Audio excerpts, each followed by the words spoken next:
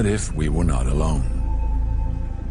What if the hundreds of thousands of people claiming to have seen unidentified flying objects in fact had been witnessing extraterrestrial spacecraft?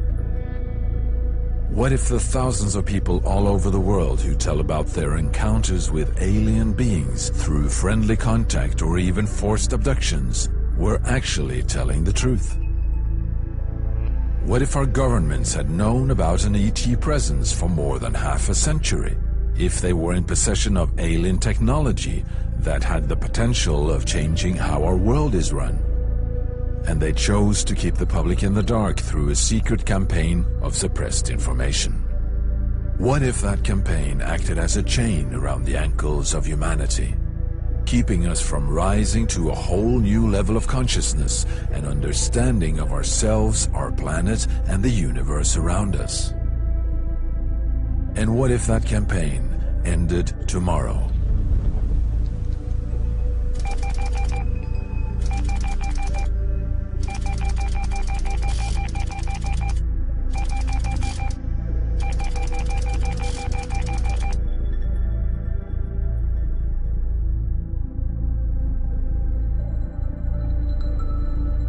It's one of these currents of history that won't be denied. The truth is going to come out. And when it does, it's going to be explosive. So once we get that out, we will go back and completely reassemble the 20th century, rewrite it in a way, uh, and may have to go back and rewrite a significant portion of the entire last 12,000 years. This is the greatest story in human history. And the reason it is the greatest story in human history, it is the greatest story of human history.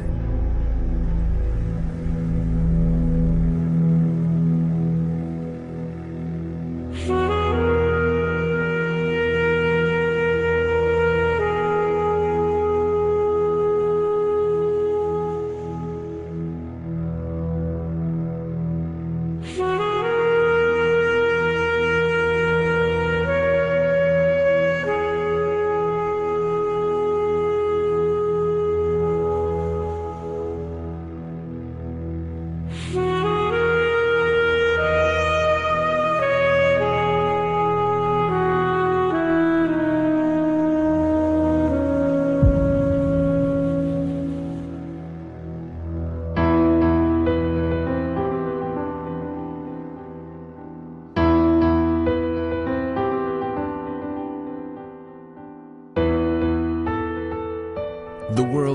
portrayed in this statement by renowned scientist Lord Kelvin in 1900 was shattered only five years later when Albert Einstein published his groundbreaking paper on special relativity.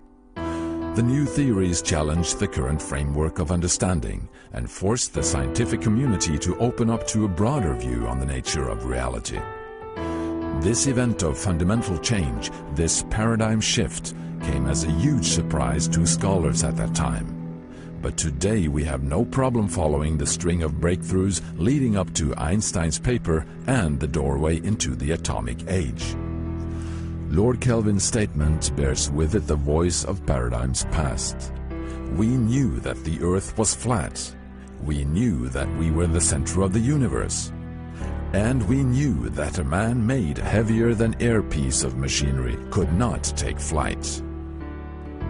Through all stages of human history, intellectual authorities have pronounced their supremacy by ridiculing or suppressing elements of reality that simply didn't fit within the framework of accepted knowledge. The so-called father of modern science, the Italian astronomer Galileo, was even convicted by the Catholic Church and placed under house arrest for life after publishing a book where he supported the idea that the Earth was not the center of the universe. His work was then banned and forbidden for more than 200 years. But are we really any different today? Have we really changed our acceptance towards the things that won't fit the frame? Maybe there are concepts of our reality we have yet to understand.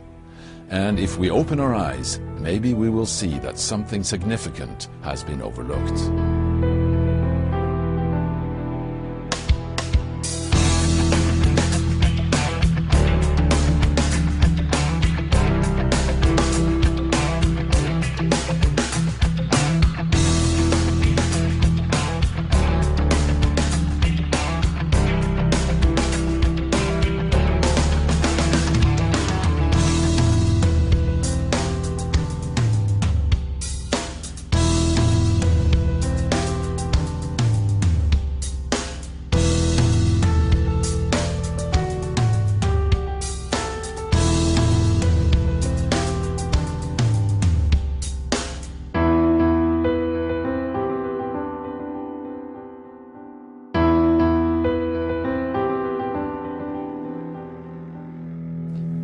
My name's Nick Pope.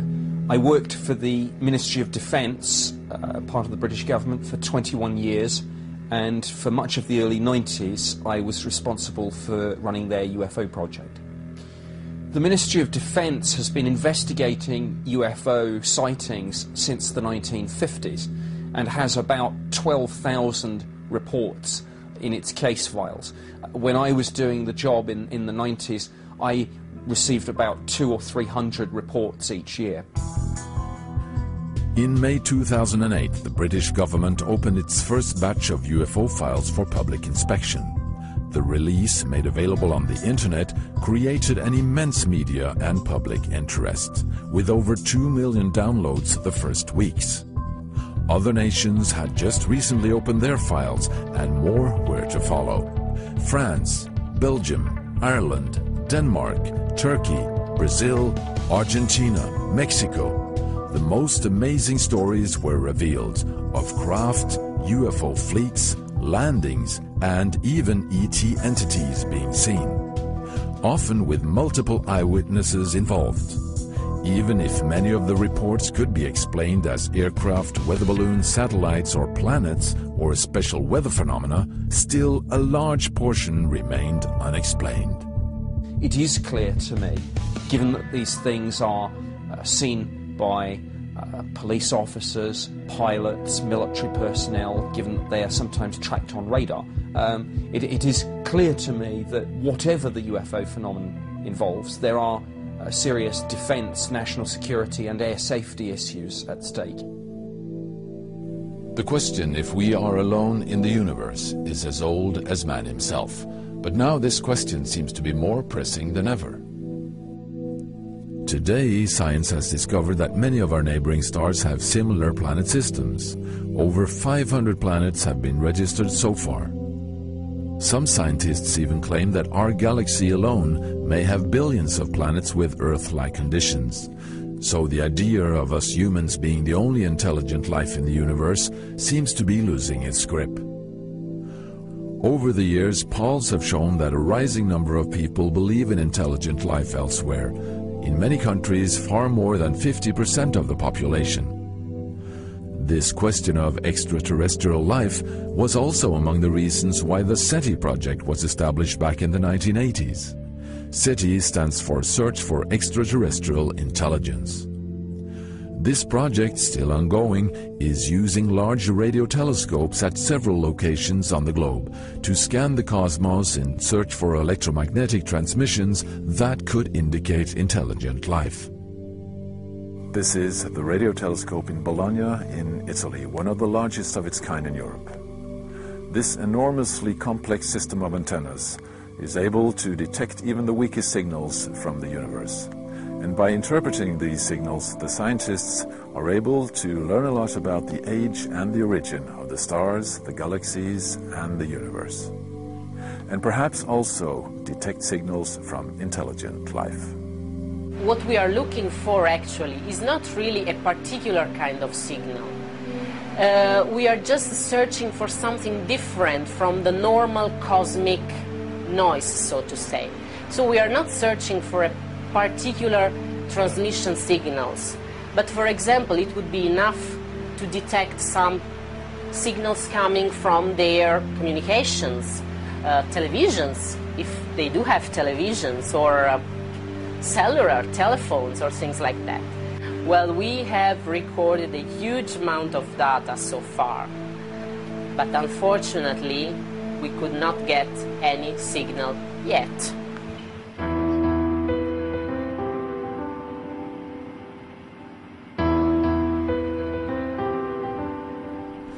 But has the research been done for the right type of signals? While we are looking for answers inside the framework of our old paradigm, civilizations may be several million years ahead of us in technological sophistication may not transmit our type of radio signals at all. The most commonly used argument against interstellar travel is the fact that even our closest neighboring stars are several light years away we have to move 20, 30 or maybe 50 light years out to find a substantial number of stars where life may be possible. With such distances and the speed of light as a limit, the thought of being visited from outside has seemed impossible. But new developments in physics have redefined Einstein's relativity theory and opened for a new view on this question. According to hydraulic mechanics, uh, there is no problem with uh, space travel and not even with uh, time travel. Uh, the equations uh, and the physical models, concepts and relations for explaining this um, has been clear for more than 10 years in advanced atomic mechanics. So if there are civilizations thousands or millions of years ahead of us, distances within a hundred light years may not be a big obstacle. And is this why mysterious unidentified flying objects have been reported all over the globe through centuries?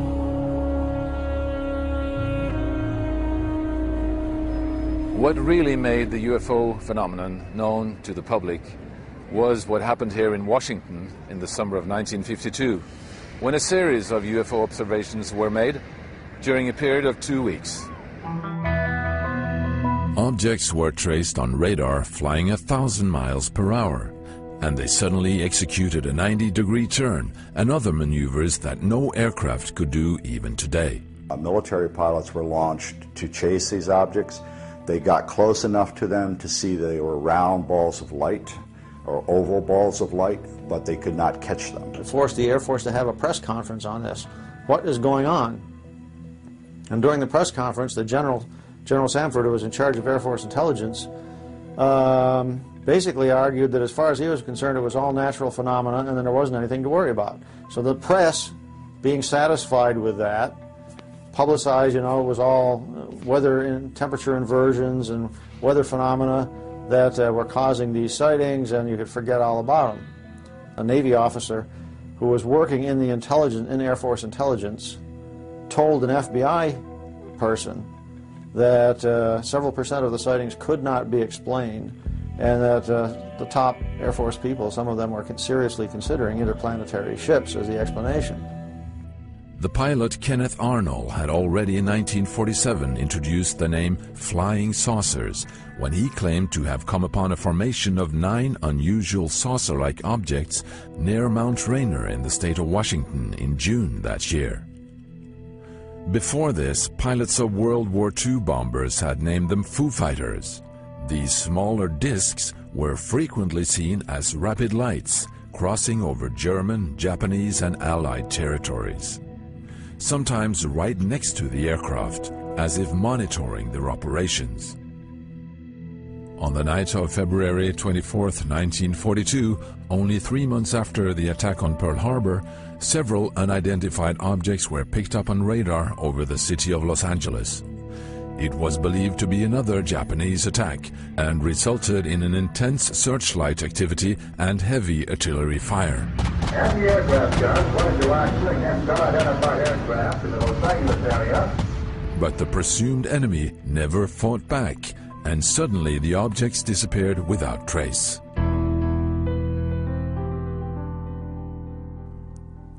During the 50s, flying saucers were reported repeatedly, also by civil and military pilots. And I could see that it was a black lenticular form, so silhouette with these blinking lights all over the surface. And it was at least twice the size of a 740, like two Boeing 747 airliners nose to tail. And it's between me and Indianapolis, so I rolled around, tried to get on its tail, and uh, behind it, and it turned about 30 degree angles to the north and headed straight for Chicago, and then went over the horizon like, like that, and disappeared. There's no airplane can go that fast. And over the entrance to Hickam, uh, to um, Pearl Harbor area, it's a, the entrance there was either nine, I said nine discs originally, so I'm going to keep it that way, with nine discs, white, perfectly white. And they were doing all kind of different formations. A V, opposite L, reversed L, different types. We watched them for about 15 minutes. Then finally, psst, they're off. It's gone. Uh, in 1952, orders were issued to military pilots in the United States shoot them down, flying saucers, if they don't land when instructed to do so. They have the newspaper articles proving that. Matter of fact, the head of the American Rocket Society wrote a letter to President Truman saying he didn't think that was a good idea. Not a good way to welcome anybody coming here. The American jet fighter pilot Milton Torres, stationed at the Manston RAF base in Britain, was on May 20th, 1957, ordered to go after and shoot down a large UFO spotted on radar hovering over Ipswich. This enormous object, the size of an aircraft carrier, disappeared into the sky at the very instant he was to launch his rockets. I was thinking that if I fired this thing, that uh, he may vaporize me. I didn't know what it was, but I knew it was not of this earth. It was not a man-made object. This was something that was. they could stop. They could absolutely stand still, and they could go Mach 10 or more at any time. And a human being uh, would be splashed up against the sidewall from the forces of, of uh, just the momentum forces uh, that would de- destroy you. So it was no, no, nothing that we humans know anything about. But many, many pilots in military planes who were ordered to go after and shoot down discs, they either disappeared or their planes crashed. This is another underbelly of this whole phenomenon. And before he died, Len Stringfield, who was the very first on the planet who had the courage to start publicly reporting that not only were there beautiful lights in the sky that moved in erratic patterns, but they were clearly involved with crash retrieval stories that were coming to him from military people who would not go on the record.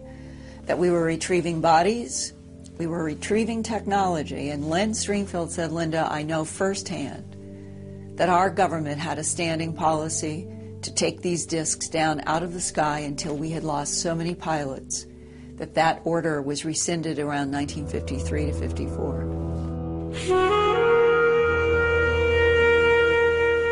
Books were now appearing on UFOs, with pictures of saucers and cigar-shaped craft on close range, even with people claiming to have met the visitors in person. and soon the entertainment industry also joined the saucer wave. This somehow influenced on the image of the UFO issue, giving skeptics further reason for ridicule of the phenomenon. On July 1947, a major incident occurred near Roswell, New Mexico, the place where the U.S. manufactured and stored its newly developed nuclear weapons. A flying saucer is reported to have crashed. The Army Air Forces has announced that a flying disc has been found and is now in the possession of the Army. Army officers say the missile, found sometime last week, has been inspected at Roswell, New Mexico, and sent to Wright Field, Ohio, for further inspection. The incident is revealed in the local newspaper, but withdrawn the day after. Weather balloons is the official explanation. Today, several military and civil eyewitness testimonials have surfaced concerning both the crash itself and the crash retrieval operations, indicating that it most probably was a vehicle of unknown origin.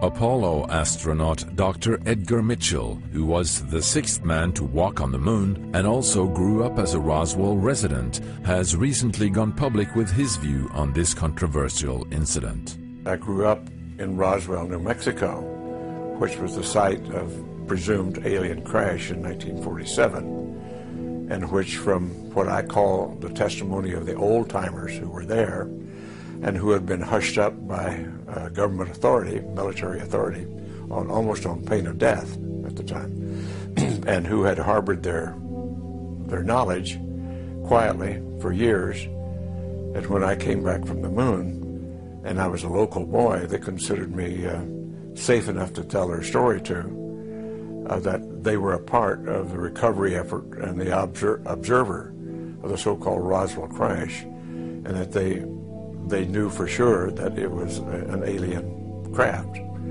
And subsequent uh, sightings, subsequent evidence has reaffirmed all of that, that we are being visited and have been visited by uh, uh, alien spacecraft and alien beings, and our governments around the world have covered it up.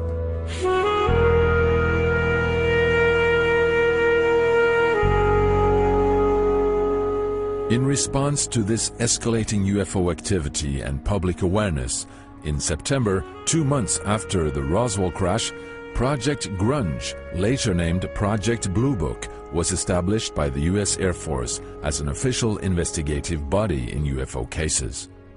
The project collected civil and military reports and carried out an analysis of them.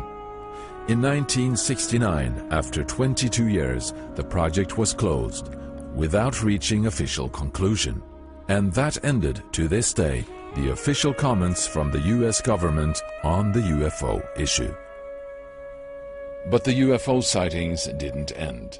Going back to 1963, a command sergeant major in the US Army was assigned to the supreme headquarters of Allied powers in Europe, in Paris, France, and was given the highest top secret clearance. The story revealed to him there puts the phenomenon into a whole new perspective. And when I arrived in the summer of 1963, I was, my clearance was upgraded to cosmic top secret, which was then and still is today the, uh, the highest level of classification in NATO. And uh, when I arrived in the summer of 63, I learned of a study that was underway that had been initiated in 1961.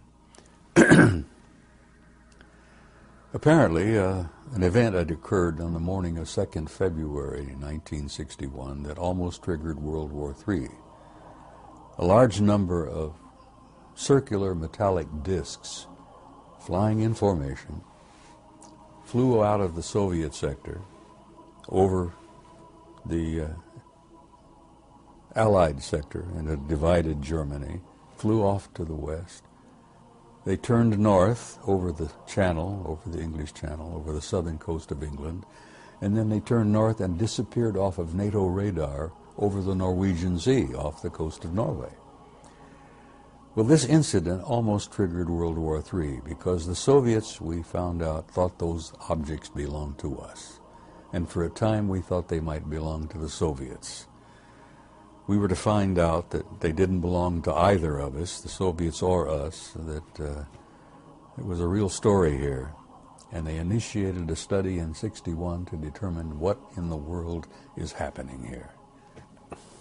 They concluded after this three-year study that uh, the planet Earth and the human race apparently had been under some kind of survey or observation for hundreds of years, maybe thousands of years, by several extraterrestrial advanced intelligences. Now that literally, Terry, blew me out of the water. This document, called an assessment, an evaluation of possible threat to Allied forces in Europe, was a secret NATO report on UFOs, distributed in 15 copies in the NATO system. Could that indicate that NATO at that time was fully aware of the UFO and ET presence? The U.S. military took UFOs very, very seriously during all through the Cold War and indeed beyond. Um, we have a fair amount of evidence, documentation, military documents, intelligence documents that show very clearly that the U.S. military encountered objects that did not seem normal, did not look normal, and had extraordinary behavior, violating sensitive airspace uh, again and again and again.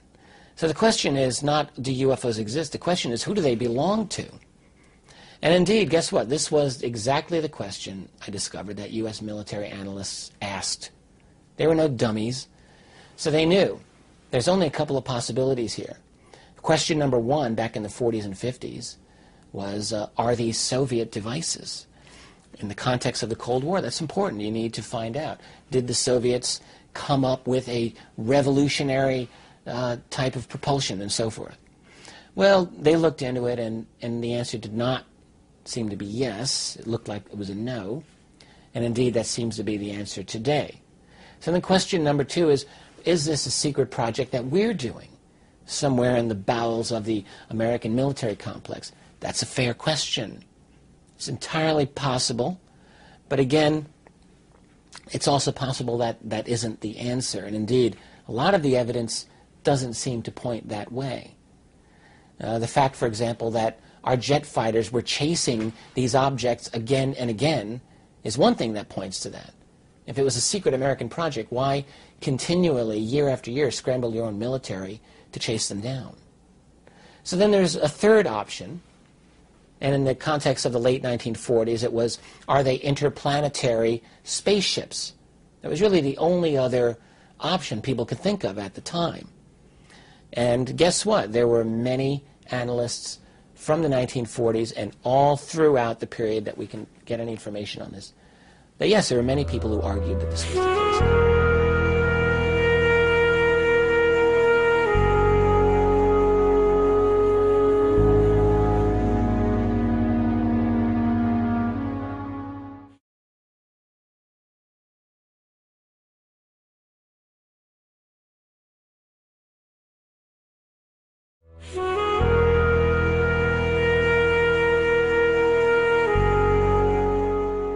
Incredible stories continue to happen.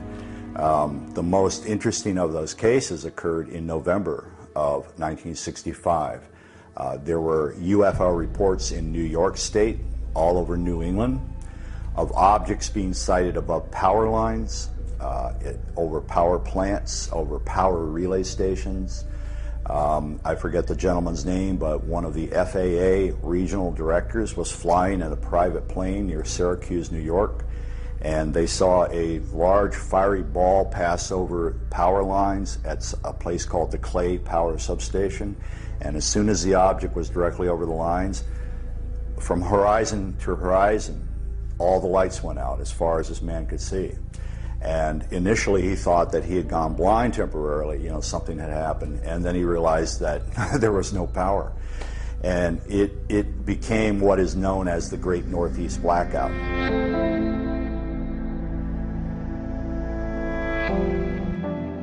Uh, it's an incredible instance in, on 17 November 1986 that a Japan Airlines plane that was flying from uh, Tokyo, I'm sorry, Tokyo to Paris uh, to, uh, through Alaska, encountered three large shelled walnut type objects. The largest was described intermittently in different reports as either the size of one or two U U.S. aircraft carriers.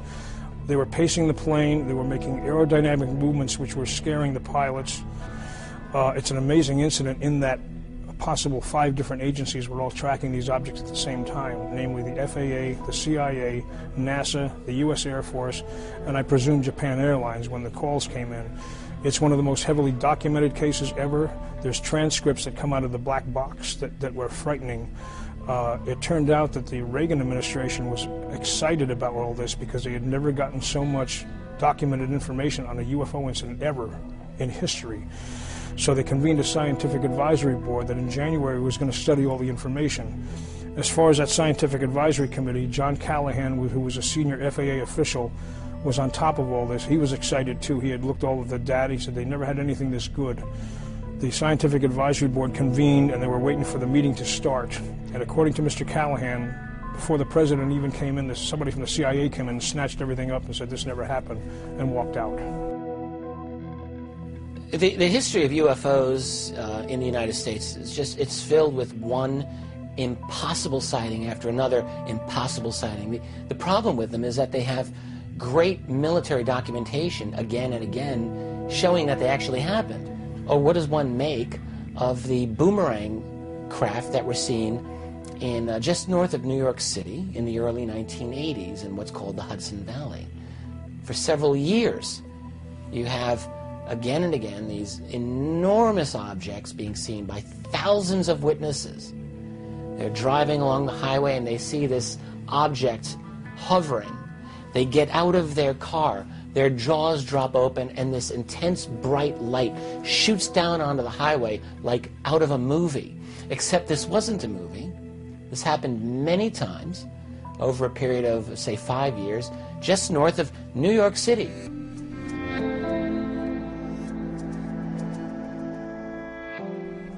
In Great Britain, periods of extensive UFO activity kept the subject warm in the news media. a serving police detective within the UK force in England, has over the recent years gathered reports involving over 800 police officers having different UFO encounters.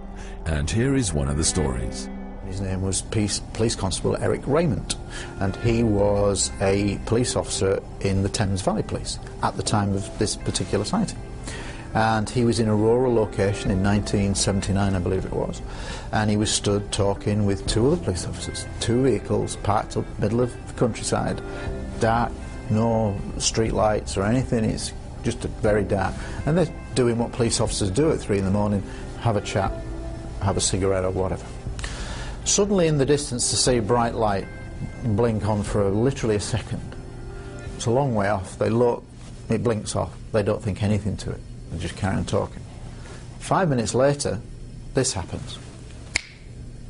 And the object appears in front of them at a distance of about 400 metres, at an altitude of just 500 feet, which is very close. And they describe the object being the size of a football field and it is shining a beam down the width of a football field across the landscape and slowly scanning the terrain. They think about going on the police radio and think nobody's going to believe this, so they don't they don't want the ridicule factor. So they watch for five minutes in all. The object is moving in total silence, and they say there are smaller objects flying silently around the larger silent object. And after 15 minutes, uh, after five minutes, it goes. It doesn't go up, doesn't go left, doesn't go right. It disappears like a light bulb. The 70s brought an amazing number of UFO reports from the British Isles. But nothing could compare to what was to unfold in late December 1980 at a NATO base in Suffolk, east of London. The Rendlesham Forest incident is Britain's most um, famous uh, and compelling UFO uh, encounter. The file on the incident was made public a number of years ago under the Freedom of Information Act, and uh, so the case file's in the public domain, but um, the bottom line is the case has never been explained. Peter Robbins spent nine years doing intensive research for his book, giving a first hand account of the case. His co author, Larry Warren, was airman at the base at the time and one of the key eyewitnesses to the event. It occurred between Christmas and New Year's on three consecutive nights, 1980, and it involved overflights above this twin NATO base complex in Suffolk uh, about 80 miles from London, landings, the shooting down of beams of light into the weapons storage area, which was a nuclear weapons storage area, uh, very much in violation of our treaty with Great Britain at the time.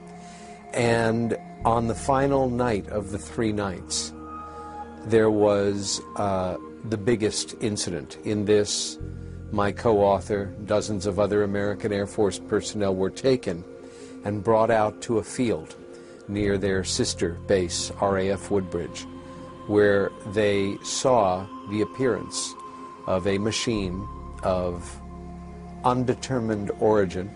At that place, an object appeared on the ground in the place of a mist. I saw this happen. A red light moved in, exploded. It caused retina and eye damage to most, a lot of us peripheral people A structured object was in its place on the ground, though you couldn't look directly at it. You'd have to look at it with your peripheral vision to get the shape. Uh, entities were seen. How many? Three. Uh, looking very translucent, uh, not your what they call gray, and you know, all that sort of thing. It was almost ghost-like. Very much animated, self-animated though. Uh, that whole event was filmed. Did they walk out of the craft? They didn't. Did they well, no. They, they were floating uh, about a foot above the ground in a very bright light. The lower extremities were very hard to see. They were a foot off the ground. Uh, they were about four feet tall. They had that same large cranial structure, the giant black sweeping eyes, almost no nose, a hint of a mouth. and they were each dressed in a suit, very tight fitting, and they were slightly translucent and they were floating. So they got in about five feet from the thing. They were right there. And the beings were no further away than like 20 feet or so from Larry. So this was all happening in extremely close proximity, very close up.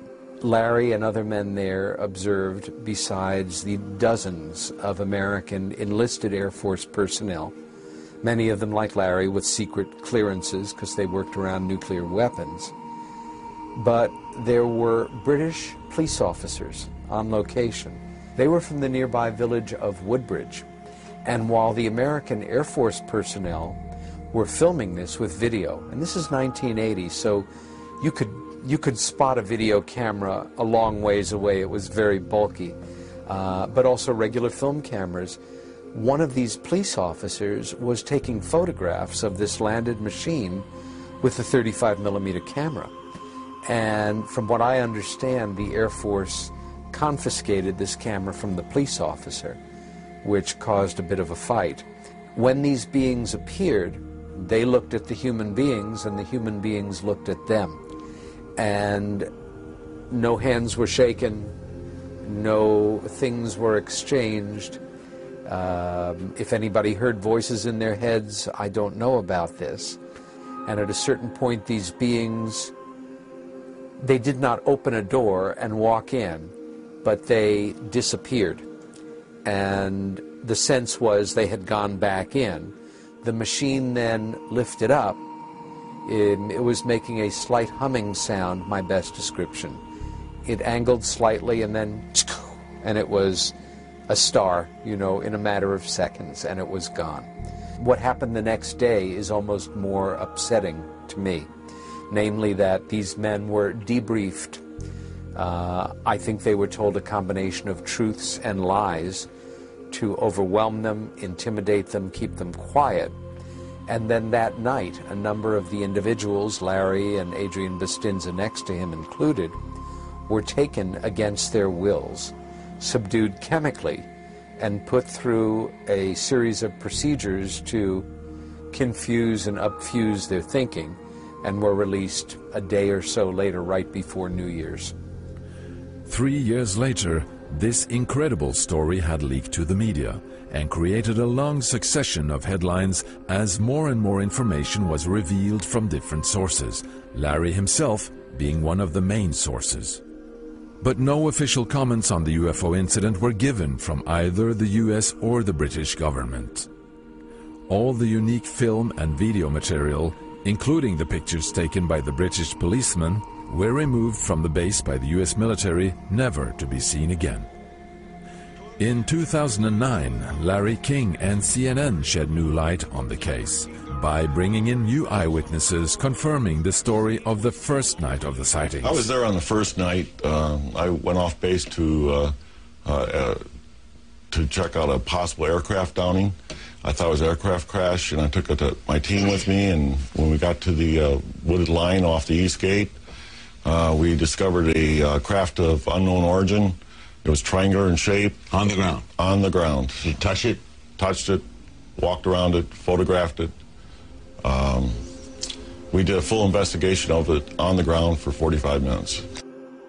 With this exceptional testimony from a retired U.S. Air Force security officer live on CNN, confirming the story of several other eyewitnesses, you might expect it to lead to some kind of official reaction. Does the Rendlesham case actually tell us straight out that there is another reality in the midst of our lives, able to come and go as it pleases? In other countries, UFO observations were made continuously. In Brazil and the huge Amazon area, UFO and ETs were observed almost on a daily basis. You know, historically, Brazil is one of the uh, major countries as far as uh, UFO sightings and contacts with aliens is concerned. Now, we have, we have all sorts of cases, and they are spread all over the country. Now, the, some of the most astounding cases in the UFO history happened in Brazil. We're talking about landings, we're talking about face-to-face contact with aliens, which are getting rare for some reason. And we talking about also sightings with mul multiple witnesses. Sightings in the middle of cities, like uh, two, three thousand people seeing a UFO. But what about Russia and the former Soviet Union?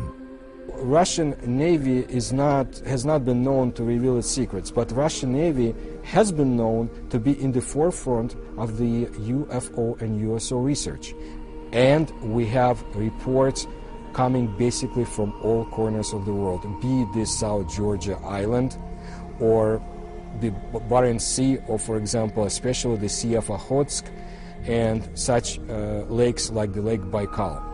They had encountered not only gigantic underwater objects and submarines who could move at incredible speeds, and the Soviets just could not catch up with them, they had also encountered disks that would basically fly out from under the water, go into the sky, uh, separate into different objects, come back together, fly away. They had encountered a phenomenon which was called kvakery, from the Russian word kvakat, meaning to emit a sound like frogs would do. What it meant is that Soviet submarines, especially in the Atlantic area, would find gigantic moving objects at great depths of the sea. Objects that would emit certain sounds that kind of reminded them of croaking, but it, it, you know, there were different sounds. They could do nothing about this, but the Soviets became very nervous because these gigantic objects would accompany them. And of course, they thought the Americans came up with a new way to track Soviet submarines. They found out this was not so. And I want to bring your attention to, to, to the country I was born in, Ukraine, 1986 Chernobyl phenomenon. Well, I should, should not go with that, Chernobyl tragedy. What happened is that according to a number of witnesses, when the explosion took place, a UFO, a sphere, a fiery sphere, had been sighted in the area, and it sent a ray of light of what something towards the area of the explosion to diminish the effects of the nuclear uh, explosion itself.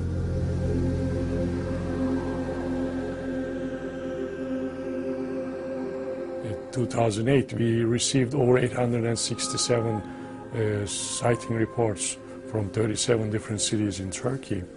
And out of those, uh, 35% of them were documented.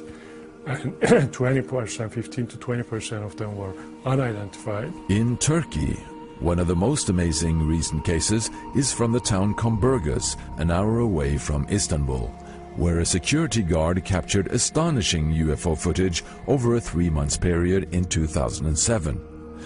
The film clearly shows the outline and the structure of the object and also what seems to be the silhouette of two beings inside. The film has been thoroughly checked by a governmental scientific institution. In the official report, it says uh, clearly that this is not a hoax at all. This is not a computer animated hoax or a model or anything like that. There is an uh, physical object in the picture, in the footages that we could not identify. They put it they categorize them as unidentified flying objects. Astonishing video has also been released from Mexico. Military gun camera shots of traveling UFOs hit the news in 2004. And even more astonishing, fleets of UFOs were seen and filmed over several cities. As a result of the rising national interest in the UFO issue in Mexico, one of their main broadcasters has run a two and a half hour show every Sunday night the past 15 years, presenting the latest UFO documentation. Well, I have a television program every Sunday night from 5.30 to 8 o'clock. It's prime time in the Mexican television. Uh, and we present the news around this phenomenon. It means the most recent videos, the most recent photographs, the most recent cases, the investigation behind that, the actuality many people in the media and even the public have been brainwashed by the scientists who don't want to investigate this. But there is enough evidence, scientifically proved, base that can be investigated and presented to the scientists, and they have to ac accept and agree that, the, that this phenomenon is real. There is no question in my mind. I'm a journalist. I've been a journalist for almost 40 years. And I know because I've seen them, because I've seen creatures, and because I know it's true.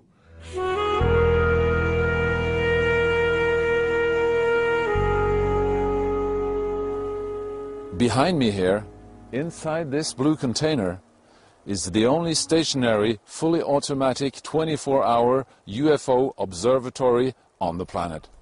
In Norway, the remote mountain valley Hessdalen became world famous after almost continuous observations from the early 80s on. Strange lights moved up and down the mountainsides every night over long periods, just above the treetops. In contrast to many other countries, scientists arrived and established a permanent UFO observatory. The light phenomena here in Hessdalen Norway started uh, in late 81, well, uh, with a lot of sightings. At the most, it was 20 sightings a week. The local people here started to see the light down in the valley sometimes close to their houses. And uh, they was wondering, what could this be? And there was, some was a little bit afraid too, because no one could give them any answer. What could it be? Radar and cameras were soon to pick up astonishing pictures of the unexplained light phenomena. This picture is taken with 1 60th of a second exposure. The phenomena behaves very different. Some is moving very slowly and some lights can move very fast. The fastest speed we have ever measured was 30,000 kilometers an hour. But the local residents claim to have seen more than just lights. I februar-mars. Og så når jeg kom opp av Hestadslia da, så var det da mørkt. Men når jeg kom mest opp på toppen, opp på kjølen der, som vi sier, der ble det opplyst rundt meg. Det ble opplyst om dagen. Så kom det nå og for over bil. Det var som en opplyst herrehatt. Gammeldags slik stor herrehatt med brem på det. Som for over bil og fremover. Vi bevitnes på at vi har sett disse eh, 68 observasjoner. Og det er nedskrevet her. The observatory shoots pictures automatically every minute and puts them on the internet. Many amazing shots have been captured. After an automatic video recording system was put up, one year of waiting passed before the Hessdalen phenomenon is caught on camera.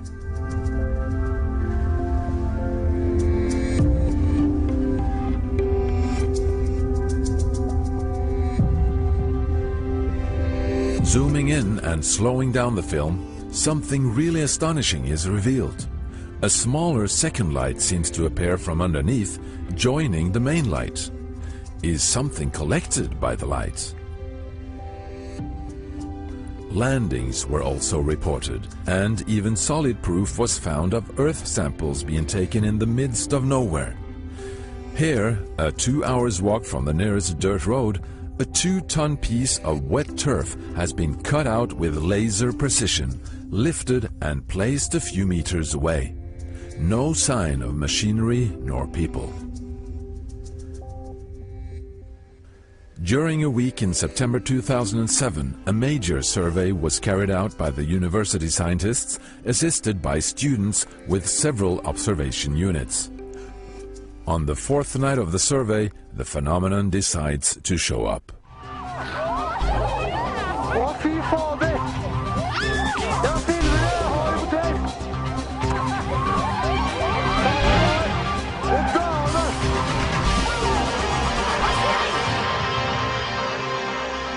Then it, we had a big light that started out and moved very quickly north and south and gave us this very, very impressive uh, picture, which possibly is the best picture ever taken of the Hessdalen phenomenon.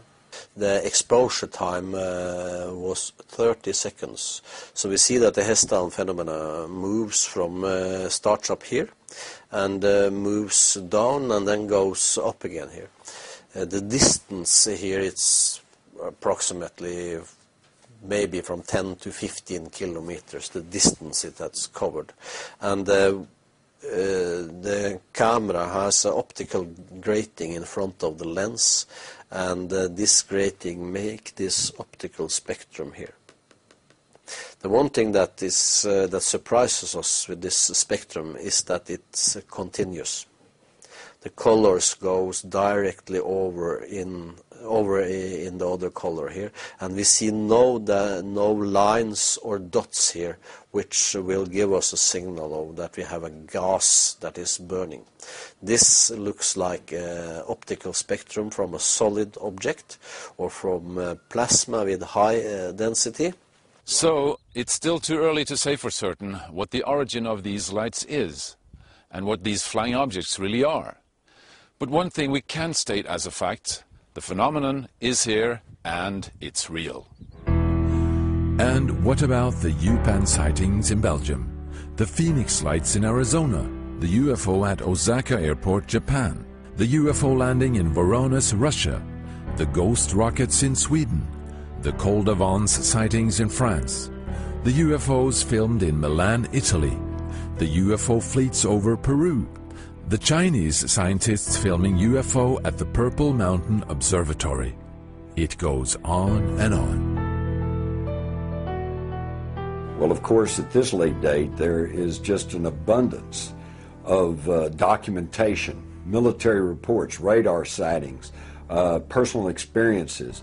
They go back for many years, uh, but they have been routinely ignored, shun aside by the government, ignored by the media, and therefore the average person rarely gets to hear of these things. But when you put them together, it forms a very compelling picture that there is a reality that's happening all around us that uh, we are being systematically uh, denied information on. Uh, I've had many people say, well, look, if all this happened, wouldn't there have been military people and radar operators and even policemen and stuff who would have uh, said they had these experiences? And the answer is absolutely yes. But early on, the, they learned their lesson. If they step forward and they said, Yes, I saw these things, then they tend to lose their job, they lose their credibility, people begin to snicker at them. And that's been very effective over the years in keeping this whole issue quiet.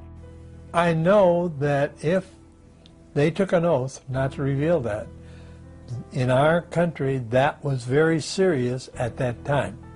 Okay? If you violated a top secret clearance, you could be put in jail for 15 or 20 years and everything you have done removed from you. Yeah. Could this be why the military observations never reached the public? But many who had been involved in UFO sightings over the years felt a strong urge to reveal what they knew and to be relieved from the burden of carrying these secrets. After 30 or 40 years and having retired from service, many were willing to break their oaths and speak publicly. They can stop on a dime, they can take off at Mach 10 or greater. It's unbelievable what they can do. So we need to know these things. So you know, the only reason I'm here is to tell you, let's disclose this whenever we can. Please. Thank you. In 2001, the U.S. medical doctor Stephen Greer staged an initiative where several hundred witnesses of high rank and high credibility came forward with what they had experienced during service. The Disclosure Project, helped by the internet and YouTube, was a formidable eye-opener to people all over the world. So we started a project that's known as the Disclosure Project, which people can see at disclosureproject.org, uh, where we began to identify military and corporate and CIA uh, intelligence officers who had personal knowledge of the classified uh, operations dealing with this subject, and to get them to come forward uh, with our information to disclose this publicly. Because what we felt was necessary was that the secrecy should be ended and this information disclosed so that humanity, not just one country in America, but all of humanity could make peaceful contact with these civilizations visiting us, but also would lay the foundation for these new technologies, the energy and propulsion systems that are behind these UFOs that are so mysterious. How are they flying? Well, this is understood, but they are in classified projects. So that was the, another objective, was to get the technologies out to the public so we could have a civilization that would get freed from the use of oil and uh, the destruction of the environment. There were probably 1,500 reported cases at that time. Uh, I have uh, over 3,000 cases now. They estimated 100 yards from the left wing was this 100 foot disc. And the strength of the signal was as strong as the surface contact on the water of an aircraft carrier. This, this contact was huge. The size of these uh, uh, objects around uh, 100 meters or greater. So it would go from 1 o'clock, 7 or 8 miles to uh, 6, 7 o'clock, 7 or 8 miles inside of uh, 4 or 5 seconds. Uh, you have to be moving pretty quickly. They could rise, uh, just go straight up. Uh, they could uh, do that, just seemed like instantaneous. Once they started moving, they went straight up, you know, for a while, and then they went zap. Then it just sort of disappeared. It dematerialized. And left the, at, the atmosphere just was gone. It just took off into space. He said, You are never to speak of this again. As far as you're concerned, this never happened. And you never saw this, and I don't exist, and this situation never happened. I didn't want to look at it any longer than that because I felt that my life was in jeopardy. I am prepared to state that I have been at locations where craft of, un, of unknown origin that did not originate on the face of this planet was there. I am prepared to state that while I was there, we saw living, dead bodies of entities that were not born on this planet. I am prepared to state that we had what we what they referred to as interfacing with those entities. We have contact with aliens not originating from some foreign country, but from some other solar system. And I have been a party to that. What some of these witnesses also revealed were observations of UFOs hovering over storage sites of nuclear weapons and nuclear rocket launch sites. The big increase in all the sightings around the world happened at the time when we began to detonate nuclear weapons. This is not an accident. And I've been told by senior intelligence officials that essentially a big red flag went up over our planet saying we were in trouble.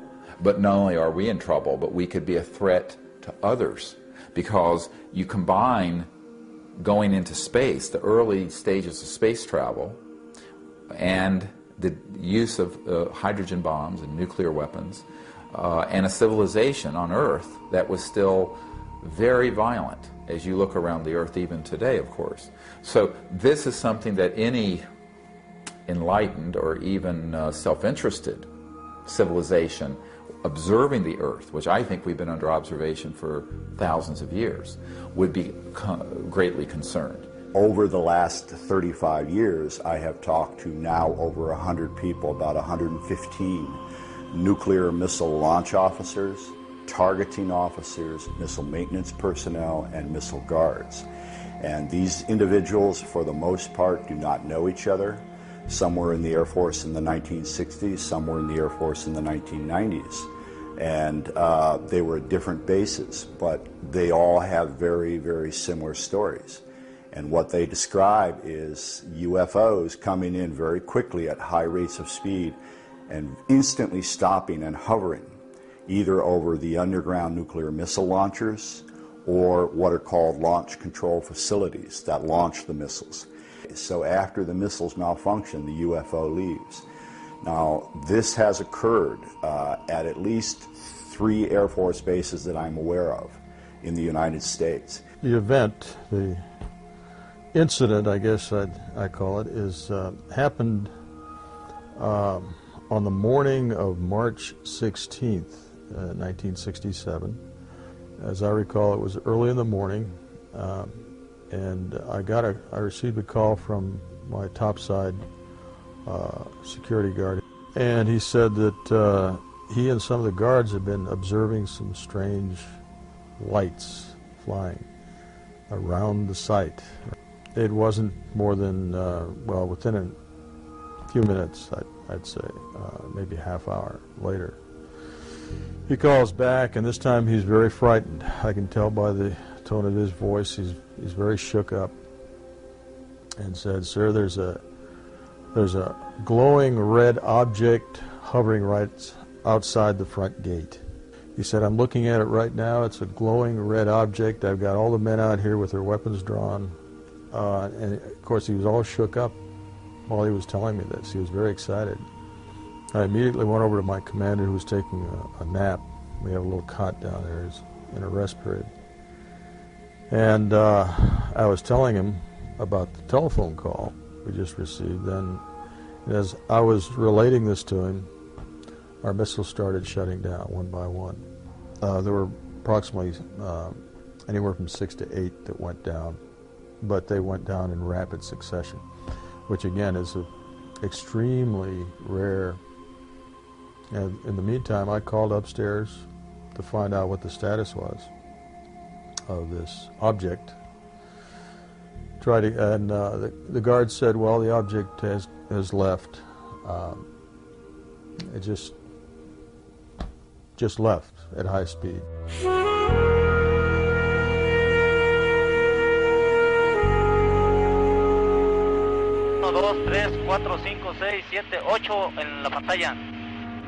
Numerous well-documented UFO sightings by numerous credible people.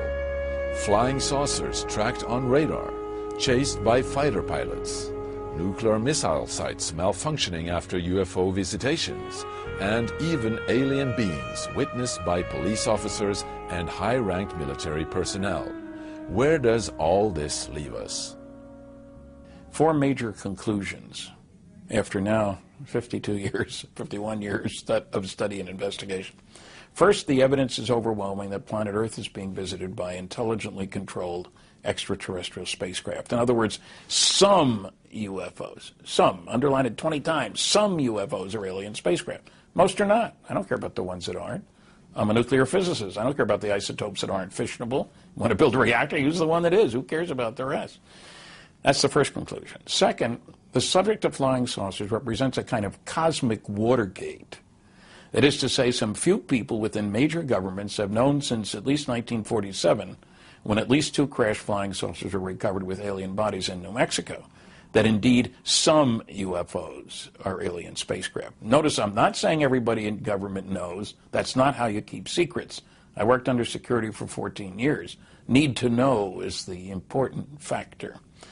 The third conclusion is that none of the arguments made against the first two by a small group of noisy negativists, when I'm being polite, stand up under careful scrutiny. They sound great until you look at the data and then all those anti arguments collapse.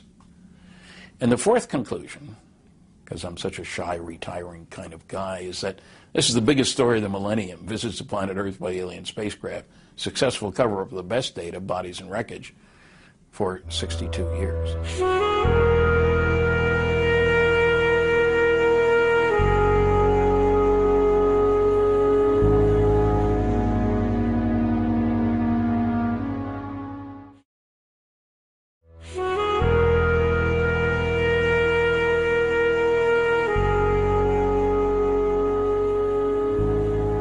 Extraterrestrial beings from somewhere have, are engaging us and this planet, and have been for at least since the, the, the mid 20th century, and possibly for as many thousands of years back as you care to go.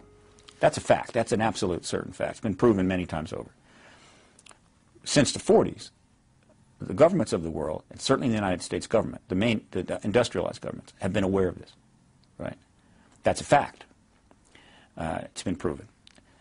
They, uh, the United States, with the cooperation of most, if not all, of its allies uh, from World War II, uh, made a decision to embargo this fact and the acknowledgement of it, formal acknowledgement of it, from its citizens.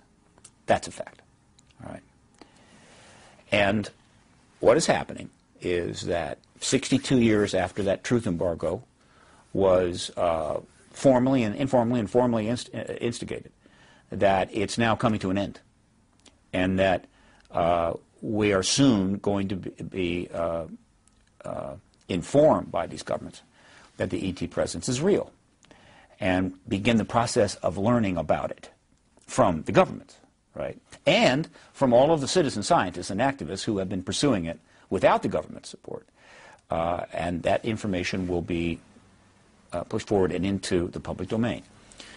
That's, in its simplest form, what's going on. But why did the government instigate a truth embargo? And how could the secrecy continue till this day? The concern in the Pentagon in the 1940s when suddenly you have these very strange objects appearing that don't seem to be American and don't seem to be Russian. Um, if they are spaceships, we might, if we tell the public about this and be candid with them, there could be massive panic. Um, the first chief of uh, Project Blue Book, Captain Edward Ruppelt, when he left the Air Force and wrote a book in 1956 about what the Pentagon knew, he stated that in, in the Directorate of Intelligence at the Pentagon, uh, there was open discussion and ongoing discussion about we cannot tell the public the truth because they will not handle the truth well. They also didn't want to alarm the people because their job is to defend the United States. And they couldn't stop these UFOs. They went with impunity anywhere they wanted to go. Okay? So, the military never wants to admit that they couldn't do anything about this because that would be to admit they were defenseless. If we have recovered a spacecraft in 1947 at Roswell, that technology would be so superior to human technology that the Pentagon certainly would keep that a secret, even from America's allies in Europe, um, to try to you know create our own UFOs. So if a war with the Russians, the Soviets happened, we would have the advantage because of this superior technology. Um, that would be one reason for the secrecy. It rapidly became, uh, I think, the case that the truth embargo was completely now subservient uh, from the standpoint of the managers of this issue to the Cold War. Until the Cold War was over, there was going to be no public discussions about extraterrestrials, right? Uh, and it's hard to argue with that reasoning, all right? And, but they had a formidable problem because while it's easy to decide, okay, we're not going to talk about this, we're not going to reveal this, ETs are all over the place. They're being seen film, photograph, seen by pilots outside of cockpits, year after year after year. At the same time, they're trying to maintain a policy that there's nothing there to be to investigate. So they had a really tough job. It, it's easy to say we're going to build a, a, super bomber and put everybody under oath and you know uh, classify the whole program and and maybe even stick it underground and build your secret bomber. That's easy, right? But this was not easy. Uh, the extraterrestrials can come and go as they pleased. They could come and uh, contact people as they pleased, abduct them, apparently, if they wish to. And the government has to somehow maintain this false reality in the face of all that. So the truth embargo was not just a simple decision and extremely difficult to implement. The amazing thing is that they did. They put an enormous amount of money, time, and effort into this truth embargo and succeeded. This embargo of UFO information, of course, stretches far beyond the United States and is particularly uh, prevalent in NATO countries, which are, after all, a military system, and therefore they each take orders from the person above them and generally has been run from the United States. And uh, apparently, according to official documents we have and according to personal narratives, they are discouraged from talking about UFOs or from looking into it. From the 70s, Hollywood engaged profoundly in the ET issue, knowing that there was a growing interest in the general public for these topics. The popular movies also had the effect of making people more familiar with the thought of a widely inhabited universe beyond our own planet system. In the 90s, people started recording their observations with the new handy camcorders. Today, thousands of UFO clips are posted on YouTube. But unfortunately, with the sophisticated animation tools now available on home PCs, it's almost impossible to tell the real from the fake. So this has made both video and digital stills documentation less reliable as evidence or proof of sightings. But in spite of this growing interest in the subject, the main news media have left the UFO phenomenon almost untouched. In terms of mainstream news coverage, this topic is not taken seriously. It's, it's basically a non topic. So, how is that so? Here's how it requires an understanding of the relationship between most of the mainstream news media and global intelligence communities. So what that says, that doesn't mean that the CIA controlled everything, but that you have to understand the media acts in certain choke points. So for example, a UFO sighting might get local news coverage, but that doesn't mean that it gets covered on the wire services. That's a very different situation altogether. And skeptics will argue, well, this phenomenon is so big it would have been covered, but really what that betrays is a lack of understanding of how news media has been related to intelligence communities around the world for, for decades.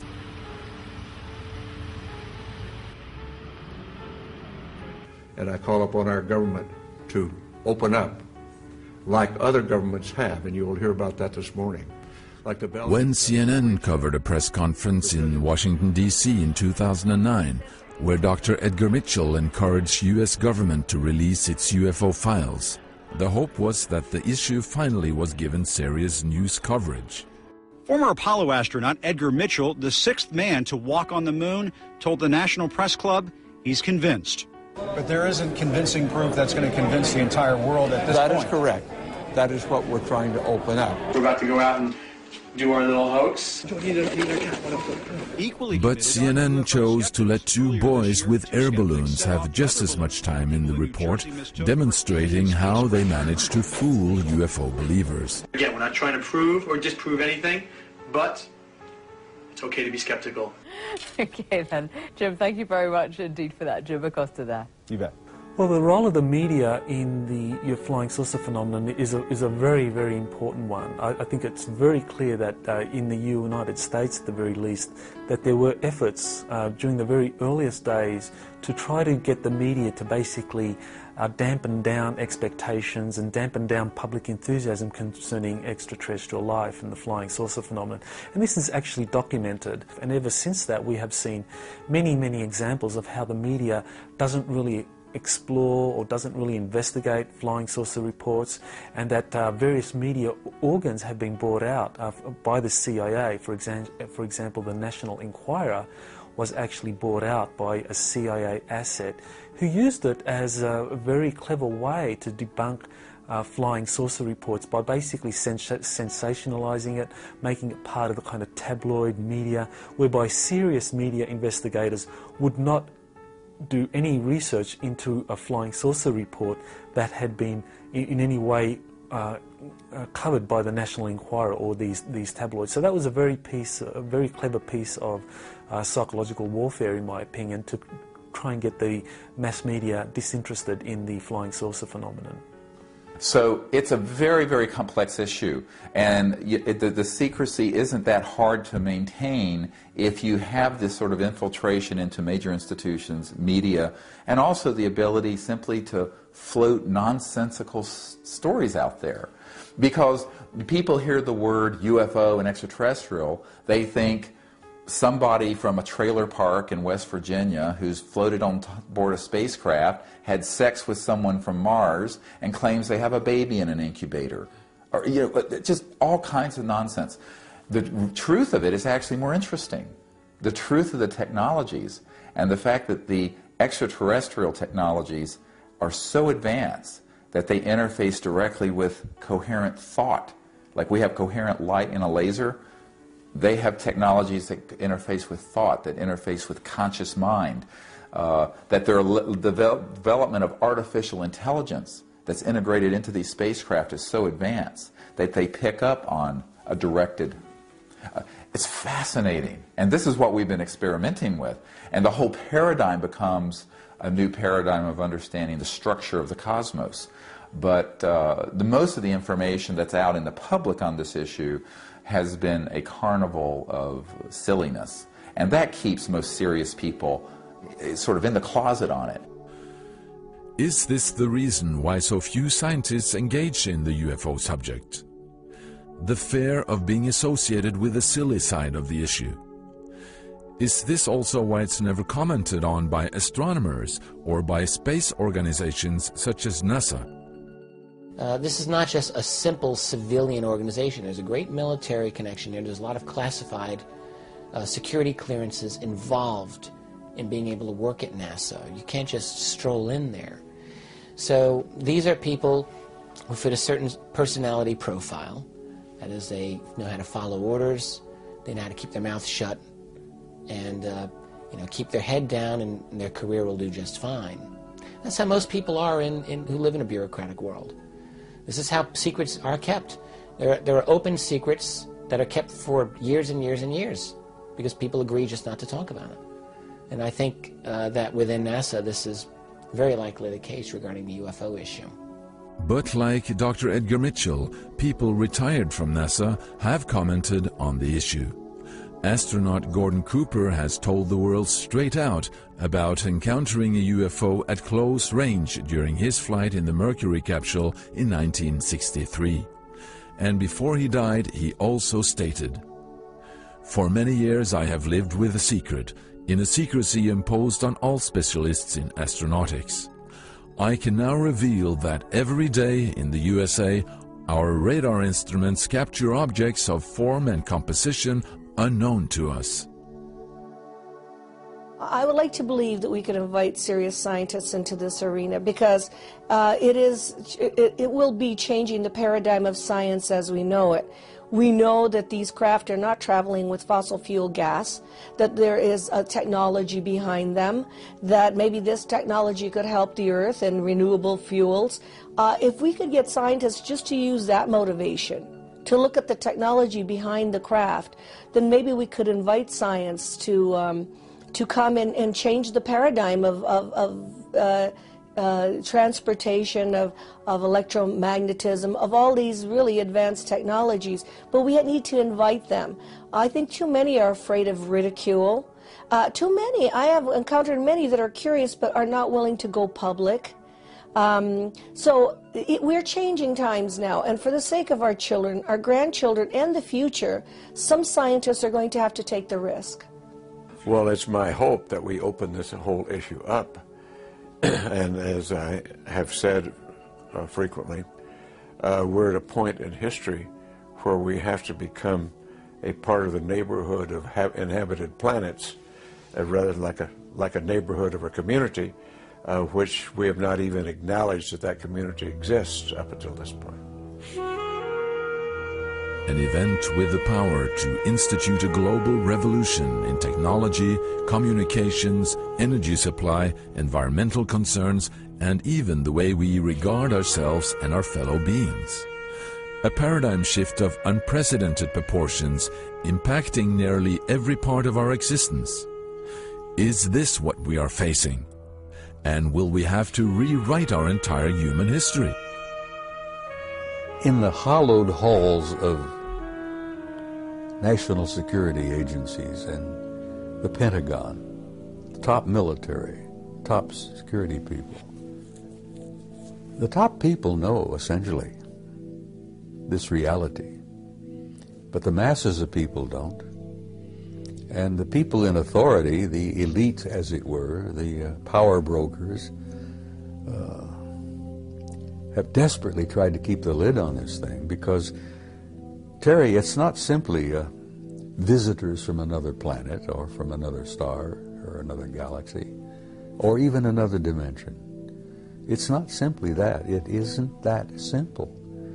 We've learned, we've learned over the years Several of these intelligences have been involved with us from the beginning of human history, and the evidence has been collected that the human race literally is a hybrid race, and that some of these advanced intelligences, from wherever they're from, have been involved in genetically manipulating us as a species from the beginning of our history. Man is a hybrid. From a lower order, we've been genetically manipulated by advanced intelligences into what we are. Now, that in itself is dynamite, for God's sake.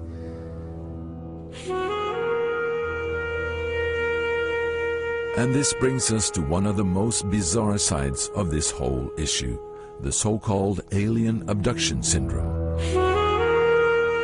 It first came to public awareness in the early 1970s when stories began to surface of people being taken on board alien craft after being rendered passive.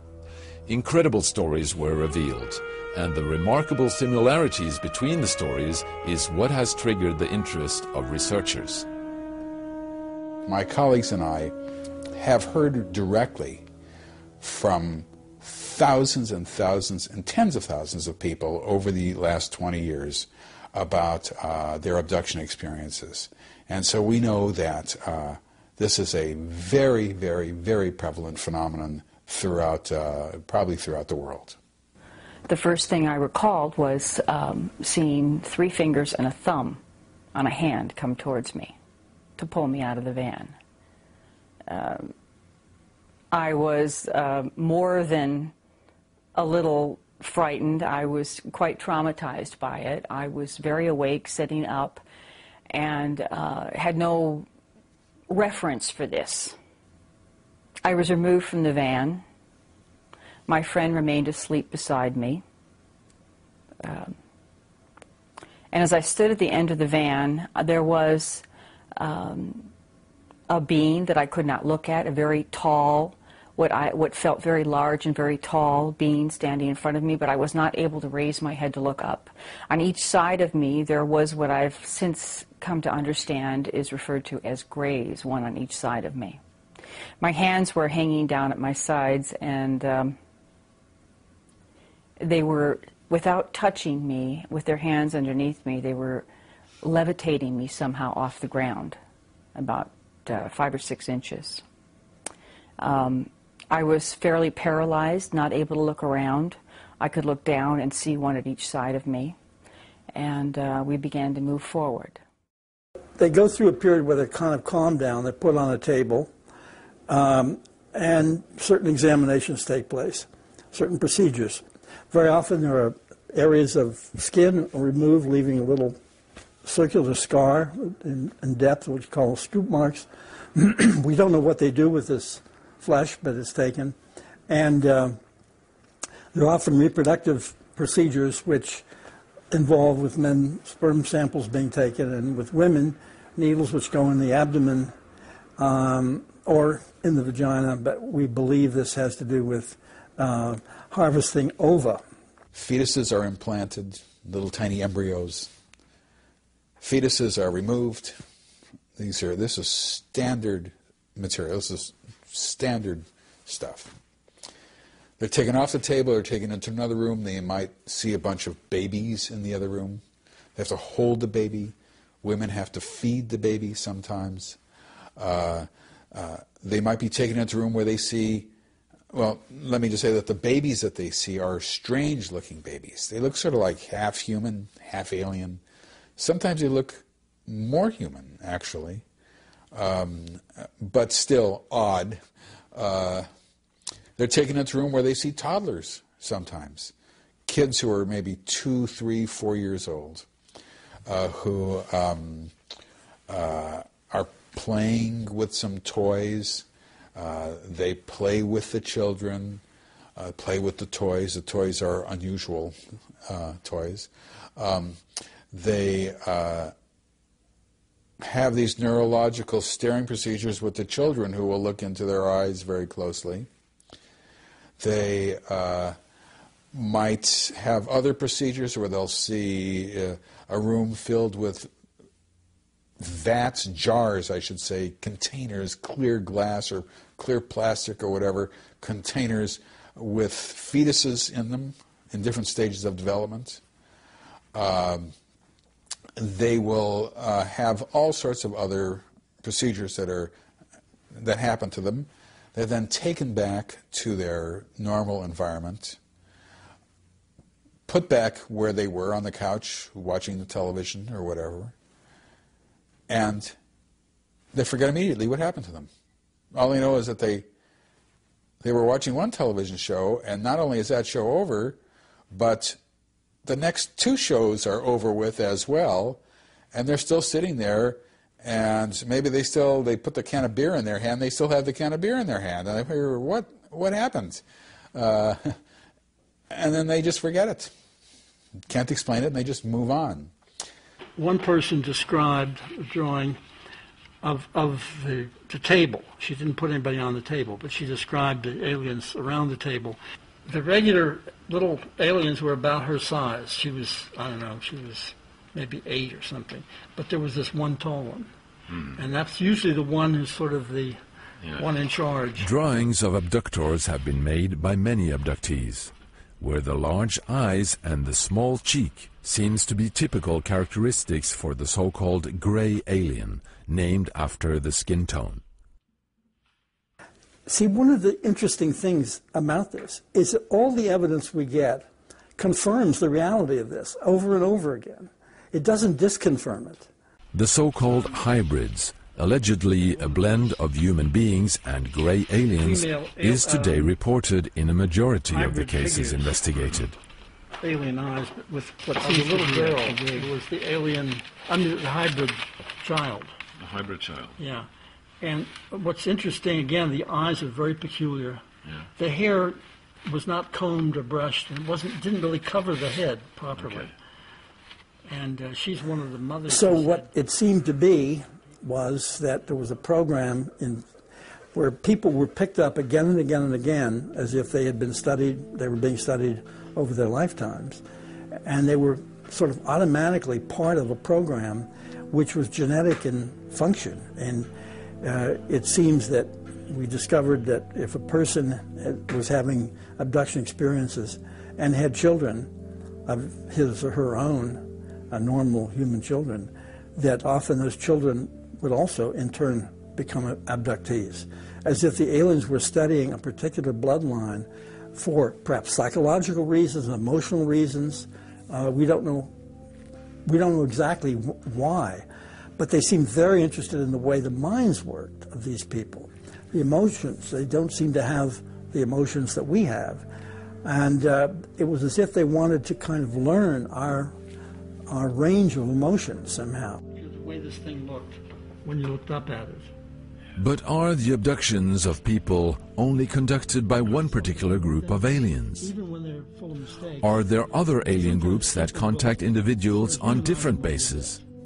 So I know of, I would say, at least 60 kinds of extraterrestrial beings that have visited the people whom I work with. And this information all comes through the regressions that we have done. Now, some beings come to be mentors to their human beings. And by the way, the beings seem to work with a person for the person's lifetime. They looked very human. Their hands were not at. They, their hands were very different, though. Um, their hands were. The fingers were much longer, and uh, they were very, very thin. Uh, very long, a little bit longer necks. They had uh, white hair, and it sort of came up a little bit here into a V shape. The hair, um, a little bit wavy and about shoulder length. And they had quite large blue eyes, um, a perfectly formed small nose, and smaller lips. When I was on board the craft, they gave me these blonde beings, gave me information that is relevant to our time on this earth right now. And they gave me messages that they asked me to share with really anyone who will listen. They're very specific for um, the humanity of, and how we have a choice that the process in which we are evolving, if we continue on the path that we're on, that it will be just no choice. We will, it will become destructive. It was explained to me that they have been here in the past. Um, they have said, We have come in the past to help in the process of change on the earth, and we are here once again.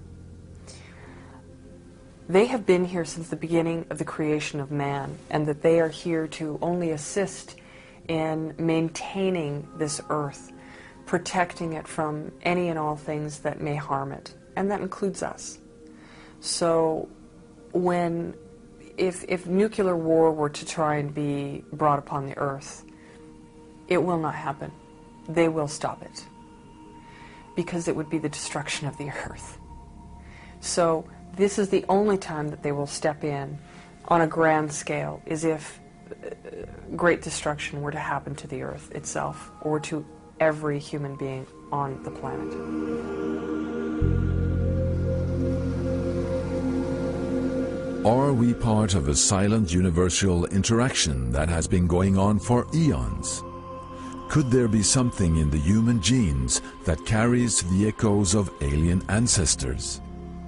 Is this why we seemingly are being monitored like children in a playground?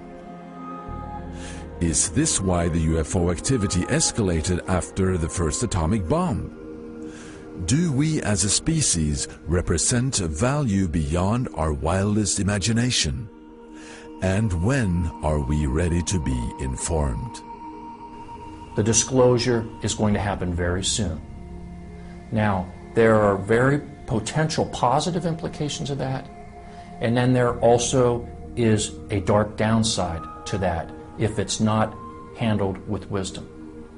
One concern I have is that there must be great discernment exercised not just by the leadership of our governments, but also among the population in general when suddenly our society is confronted with the fact that there are advanced cultures here and what the implications are for our interaction.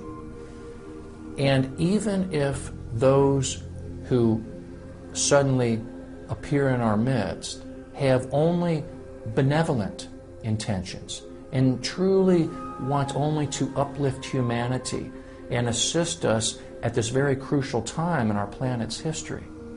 There will be the temptation for those who are already in the material seats of power in human institutions on this planet, who will likely try to distort this opportunity to enhance and entrench their own control and material power. And all that is, it's a continued extension of the same ego disease of the separation mentality that has plagued humanity, you know, ever since we learned how to say hello to each other. So we have to call for great discernment. And that means that people need to become educated we need to understand that our source is the same. Uh, Erwin Schrodinger, who was the father of quantum mechanics and particle wave theory, stated 100 years ago or so that the total number of minds in the universe is one. And in fact, that the consciousness is a singularity, phasing within all beings. And this is also the heart of compassion of the Buddha and the source of the oneness spoken of in spirit in, in all the religious traditions and Native American traditions. And I think that we are going to have to return to a very deep spiritual understanding of what it means to be a conscious being, to be able to not only live on this planet peacefully and not blow each other up over sectarian differences, but also to go into space. Because when you look into the eyes of an extraterrestrial life form, they may be very different from us in many ways, but if you see that that being is conscious, and the light of that conscious spirit is the same as the conscious light within yourself, then you can find some common basis. And so, if we understand the single source of the, of the origins of our conscious being, this is true not only for humans, but it's also true, very much true, for these visitors. They understand that because you cannot travel at multiples of the speed of light without crossing the light barrier. And when you do, you enter into this area that the mystics used to call the etheric astral conscious realm. And so you're dealing with civilizations who understand that.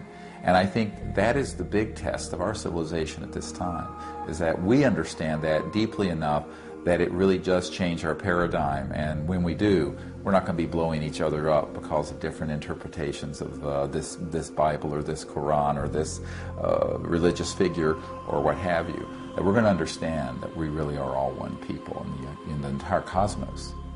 That universal consciousness and universal understanding, to me, is the thing that will truly transform life on this planet and is the next big leap in human development.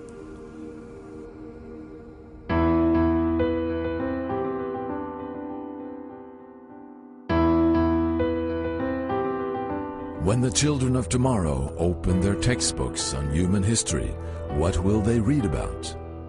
Will it be the story of how the Catholic Church imprisoned Galileo for supporting radical theories?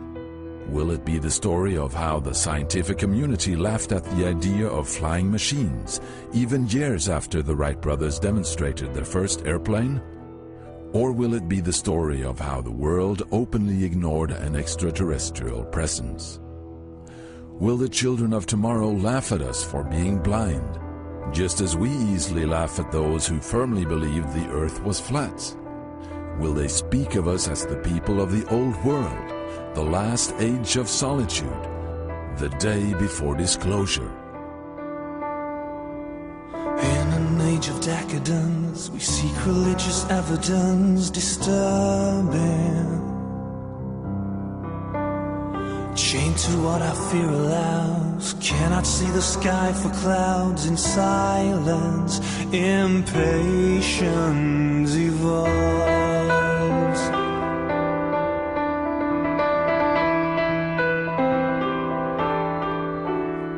Our most important point in time, but the comfort of this paradigm concerns me. So separated from our own, I don't care whom you pray as long as you leave me alone. I can't stand this indifference anymore.